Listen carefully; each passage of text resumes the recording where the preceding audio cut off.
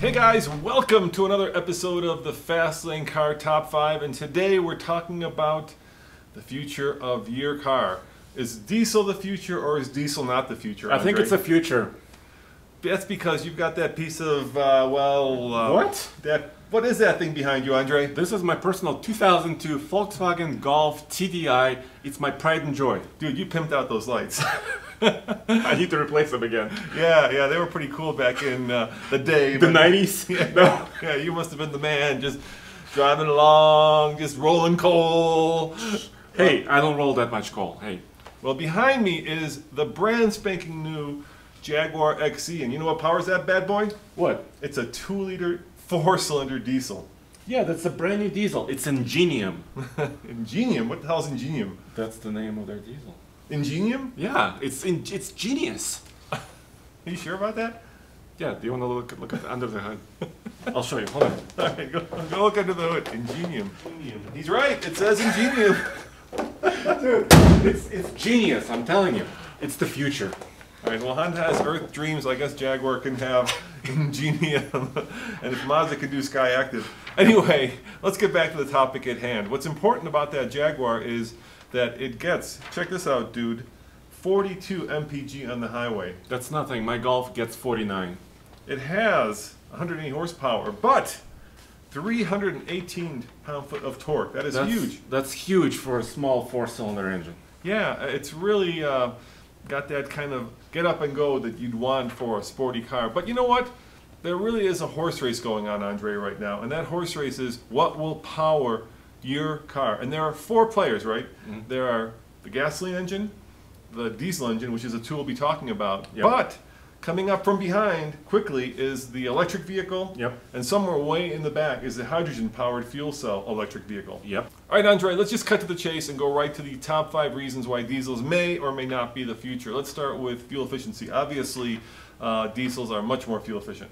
Yeah, for example, this uh, Jaguar gets 42 mpg on the highway, right? Yeah, 36 combined, which is really incredible. And if you kind of compare that to the gas version, it blows it out of the water. But there's a more interesting number we can use, and that's a metric, and that is cents per mile. How much does it cost? How many cents per mile? And let's not just compare diesels, but let's compare all the forms Okay. of propulsion. So uh, the gas XE gets uh, about 13.3 cents per mile. Yep. What does the um, diesel do?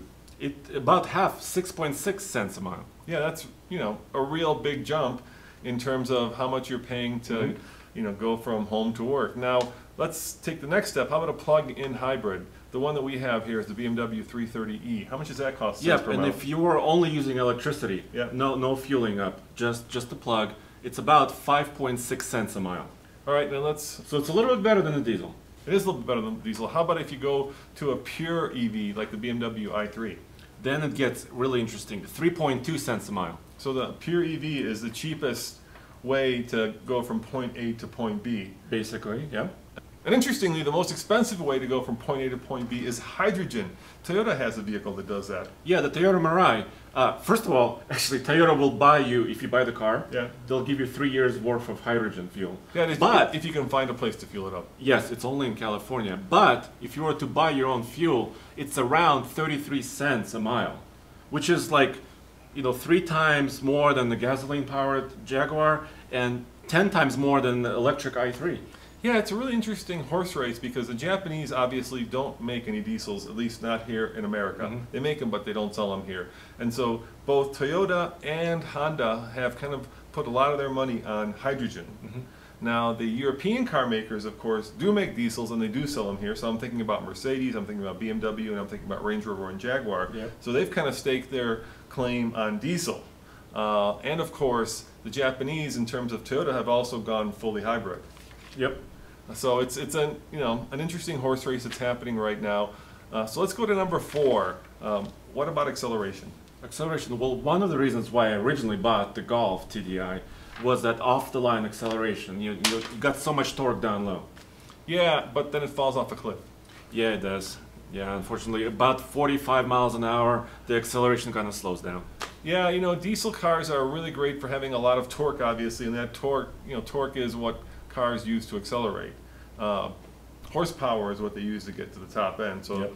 you know, most of your time is spent accelerating, not doing Around town, yeah. yeah. not doing top end speed. So acceleration is a good uh, reason to have a diesel, but it's also a good reason to have a car because a small turbocharged engine will not fall off a cliff. It'll just, you know, maybe you won't have that initial rush, that wave of power, but it'll just keep going and keep going and keep going. Of course, an electric car has a lot of torque, right? Electric motor. Yeah, electric But motor has even more How torque. far can you go? Yeah, That's a future point we can discuss. yeah. The compliance cars installed in California are about 100 miles, and we've proved. I think the market has proved that people aren't ready to go electric if they only if they can only go about 100 miles. I think you need to go a lot farther than that, like a Tesla. You know, 200 and to 250. All right. How about initial price? Initial Number price. three. Well, this is a small issue, but for example, for the Jaguar XE, if you were to choose the diesel engine over a gas engine, it's about fifteen hundred dollars difference. Yeah, so if you're a fan of diesel, it's a small issue. If you're not, it's a big issue. But that is also changing. Mercedes actually made their big SUV, the GL, Yeah. the entry version with the diesel. So Uh, they've okay. priced the diesel below the gasoline. And I think that is in direct response to what happened with the whole VW debacle. Yeah, that's really interesting. But in general, and also in trucks, you do have to pay up front to get a diesel. And the reason for that is diesel engines are heavier because, um, well, they produce more torque, so they have more power, so they need to be heavier, so they use more metal. There's probably a little bit more technology in the modern diesel, especially the turbocharged diesel. Well, especially cleaning the emissions. There's a lot of cost in those systems. So it's really kind of telling that Mercedes is actually making their entry level uh, be the diesel because it's costing them money, basically subsidizing the car so that they can get diesel into the American market. All right, let's talk about reliability and longevity. I think this one goes over to you. Yeah, so this is a 2002 Golf Yeah, TDI. yeah. It has about 193,000 miles on it. Yeah. And there's only one thing that went wrong with it in the last 14 years uh, glow plugs. Yeah. So I had to replace glow plugs, but the car never let me down. And part of this, I mean, if we were to generalize this, right, we're not just talking about TDIs, Yeah. but also the Jaguar and other vehicles. But if you were to generalize, you know, it's a high compression engine, like you said, it's heavier, it's more, you know, well built with more material there. Um, so in general, um, you're also running at lower RPMs. You don't have to rev your diesel. Actually, redline is a lot lower. So because of all those things, engines do last longer. Yeah, uh, but they're also expensive to maintain. You know that in your truck, you just had to replace all the injectors, and That was a not big deal. cheap. Yeah, well, once they break, you have to have more of a specialized mechanic, and the parts are more expensive, and the labor is more expensive. So it's kind of a wash because they're um, sure they last longer, but then you got to put a lot more money into them over the long run. That's going to be true. And of course, the number one reason that gasoline or electricity, even hydrogen, is better than diesel is because, well, that thing smokes like one of those German Raucher dudes. No, no, no. uh, my, my, diesel. Well, first of all, it's not involved in a scandal, and it's it's doesn't smoke that much. It does. I've been behind that thing. It Actually, smokes. it's a little smelly. yeah, yeah, yeah. You Europeans know what I'm talking about. That's why Paris banned diesels from the central city. Yes. the old diesels are very dirty, um, and of course uh, they're under a lot more regulations now. So there's a lot of pollution regulations, both not just in America but also in Europe. Yeah, and electric cars, obviously, there's zero emissions, right? But the question is, you know, how is that electricity made? You know, like in terms of hydrogen, how do you develop, you know, The you know, how do you extract yeah, the hydrogen? Yeah, you're moving the, the, the cost and the pollution down, or actually upstream from where Yeah. the car is. So instead of Into the factory or, Yeah. you know, whatever produces the electricity. Yeah, and I would also say, Andre, that uh, the reason diesels aren't probably the future is because um, oil is such a very useful commodity, right? You make plastic out of it, and it's just a shame to burn it, But right? it's fun. it's a finite resource, and once it runs out, it runs Yeah. out. So why are we just, you know, burning it and filling up our uh, air and our environment with diesel particulates? Well, here's an answer. Here's an answer for you. If you're an urban dweller, Yeah. you know, you don't live in a big city, or if you're a traveling salesman, you know, where you have to go long distances in your car, the diesel cars eat up miles like no other car. I mean, this car has over 550 miles of range, Yes. so you can go from here to Albuquerque and everywhere else, and it's really, you know, easy on the highway. So it's almost, you know, two ends of the same spectrum, right? Diesel car has a lot of range, but potentially is very dirty. And I know you guys are saying modern diesels use uh, DEF fluid and clean themselves up. But I keep wondering what happens like five years from now or 10 years from now when that uh, DEF system goes haywire and the local mechanic decides that it's a lot cheaper just to disconnect it. And you get a lot more power when you do it.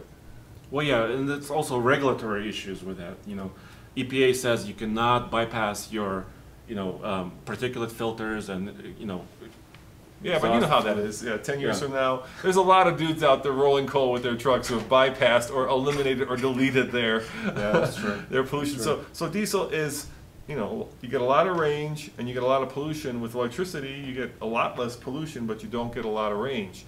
And that's really um, the horse race, right? Mhm. Which one of those will win? If you had to put your money today on one of these types of uh, uh, propulsions, what would you pick? Well, I think actually my belief in diesels has been shaken recently. Yeah. I have to be honest. Because more and more people are moving into the big cities, right? The population of big cities are growing. It's really easy to move around a big city in an electric car. You know, you don't go very far. Um, it's easy to charge. So, 20 years in the future, I think the electric cars will really win. Yeah, you know, it's probably going to be a mixed basket of all four. I'm really kind of the most fascinated by what Toyota and Honda are doing, right? The new Clarity's coming out now, uh, which is their hydrogen-powered car, uh, and um, Toyota is the world's largest auto manufacturer. They sell the most cars, and you know, when they put their stake on hydrogen, when they put their money down on hydrogen, it means something. I think they're right now something like 21 non-commercial hydrogen stations in California. So um, it's very It's early days. it's early days, I, Yeah. and to date, I think Toyota has sold right around 800 units of their hydrogen-powered car. And um, yeah, you know, I'm, I'm not sure if, if that's the future. Plus, both, in my opinion, the Toyota and the Honda aren't the best-looking cars. It doesn't help when you've got these kind of ugly duckling cars. no, they're supposed to be futuristic, but they're not great lookers in my opinion either. Right, and, and the, and the good-looking car that is getting general acceptance and it has a lot of buzz around it is, of course, uh, the Tesla, both the Model S, the Model uh, X, and upcoming Model 3. And also the Chevy Bolt. It's Chevy not Bolt. a bad looking car, and it has over you know 238 miles of range. They said. So I, I think in um, automotive applications, not trucks, I think you're right. I think electricity is where it's going. Um, you know, if if you had to put your money down, I would put it also on electricity. I think with gasoline, it's still going to be around, right? People still love gas cars. They, they're used to that sound, the smell, the fun of it. Uh, but at some point, um, maybe the next generation, or maybe the current new generation, they're going to uh, grow up on electric cars, and um, yeah, I think it's, they're quiet, they're clean, um, and they're going to get less expensive. Uh, trucks is a different story. I think diesel trucks will stay around for a long time, so don't worry. We're doing a lot more with um, kind of the future and the uh, coming of new technology, especially on TFL Now. Uh, so check out the videos that we have on TFL Now where we talk about um, what's happening with electric cars. Uh, my friend uh, Anton Wahlman, who uh, has become kind of an expert in this area, uh, has a lot of interesting thoughts about really where it's going, and, and he's kind of more of an analyst, so he looks at it from kind of the business point of view. Um, so check out those videos, and guys, if you have any ideas or comments that you want uh, to let the rest of the world know, just put them below because we always read your comments. And of course, Andre, they can't forget this, right? Um, if you want to subscribe, just click. Where do we put the thing? Where, where are we going to put it? You know, it's going to be here Okay, we'll put the it here. lower yeah. area. Yeah, So subscribe over here. and you know that video about electric cars? Where do we put that? Where do you want to put that? uh, how about in the between us? There's gonna be the video between us. Yes. All right. How about that? All right. So down here will be the subscribe button. And here- here here be the other video. The EV. So you can just click on that and check that out right now. Thanks for watching. As always, this is Roman And Andre. saying, see you next time. Ciao.